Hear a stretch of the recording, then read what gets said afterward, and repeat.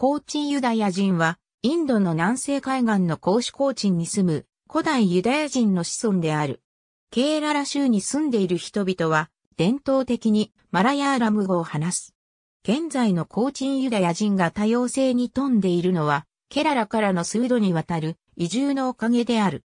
また、ソロモンがたびたび船をケララに寄せた後の伝説から、イスラエル王国が二つに分裂した後に、マラバール海岸に定住していた人たちではないかという説がある。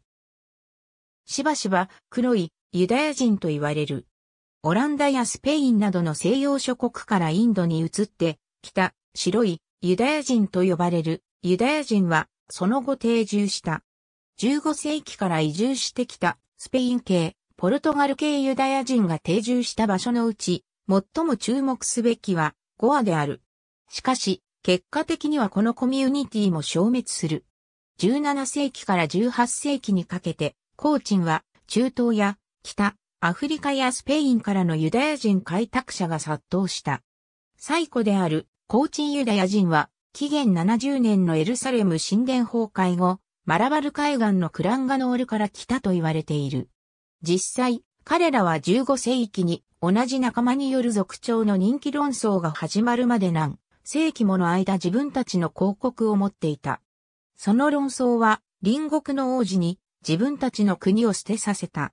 1524年、故障貿易に干渉を起こしているという口実で、クランガノールのユダヤ人を攻撃したカリカットの支配者がムーア人を連れ戻した。その結果、大半のユダヤ人はコーチンへ逃れた。そこで、ヒンドゥー王の庇護下に入る。王は後にユダヤ人の町となる場所を与える。コーチンユダヤ人にとって不幸なことに、その後コーチンはポルトガルによって占領されてしまう。